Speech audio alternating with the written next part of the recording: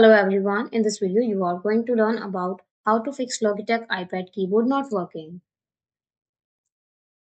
Fix 1. Check Bluetooth connection and pairing. Go to settings, then Bluetooth on your iPad and make sure Bluetooth is turned on.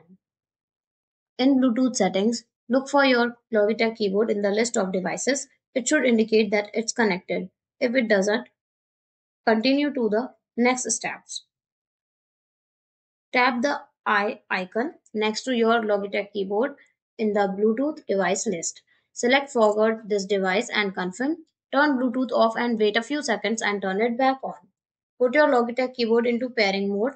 Consult the user manual if needed and select it from the list of available devices on your iPad.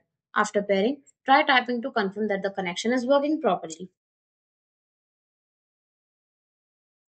Fix 2. Restart your iPad. Press and hold either volume button and the top button until the slide to power off options appears, then swipe to power off. Allow a few moments to ensure all processes are fully shut down. Press and hold the top button until the Apple logo appears, then release it. Ensure your Logitech keyboard re reconnects automatically or repeat the Bluetooth pairing process if necessary.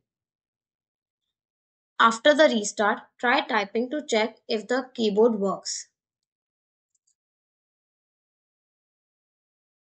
Fix 3. Clean the keyboard. Turn off the keyboard and disconnect it from the iPad. Hold the keyboard upside down or at an angle to encourage debris to fall out. Spray compressed air between the keys to dislodge any dust or particles. Avoid holding the air can too close to the keys to prevent damage. Use a soft cloth to wipe down the keyboard surface and remove any remaining dust. After cleaning, reconnect your keyboard to the iPad and test its functionality.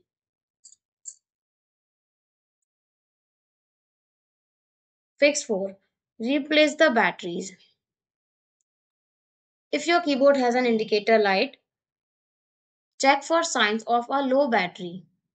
Turn the keyboard over and locate the battery slot typically on the back or underside. Insert fresh CR2032 batteries, ensuring the correct polarity with the lettering facing upward. Close the battery compartment and ensure it is tightly sealed. Pair the keyboard to the iPad again if needed and test the keys to ensure proper functionality. Fix 5. Contact Logitech support.